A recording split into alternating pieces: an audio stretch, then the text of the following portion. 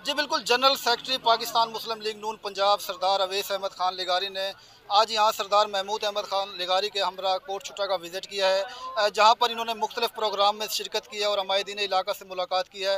हमारे साथ मौजूद हैं इस वक्त।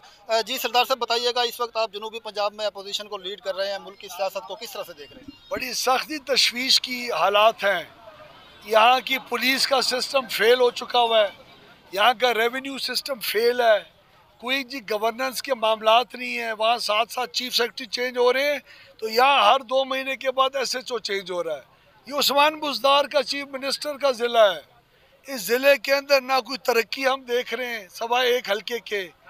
इस वक्त तक पंजाब के अंदर सौ से ज़्यादा इदारे कत्ल हो चुके हुए उन्होंने फोर्ट मंडरू डेवलपमेंट अथॉरिटी का कत्ल किया, जनूबी पंजाब फॉरेस्ट कंपनी का कत्ल किया, आज बीएमपी का कत्ल कर रहे हैं। उससे पहले पहले दिन छप्पन कंपनियों का कत्ल किया। ये लोग तो इदारों के कातिल हैं।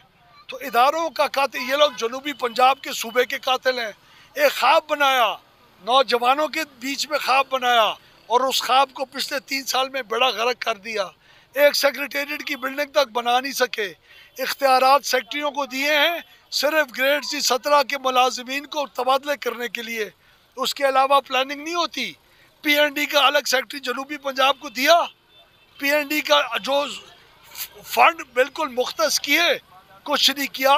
तो जनूबी पंजाब आज इलेक्शन का इंतज़ार कर रहा है, ताकि इन जो मुजालिम पिछले तीन साल के अंदर हुए हैं, उसका एक एक का बदला ले इन जी, बिल्कुल सबक वफाकी वज़ीर सरदार अवैस अहमद खान लिगारी का कहना है कि मौजूदा हुकूमत आवाम को रिलीफ फराम करने में बिल्कुल नाकाम हो चुकी है, जी।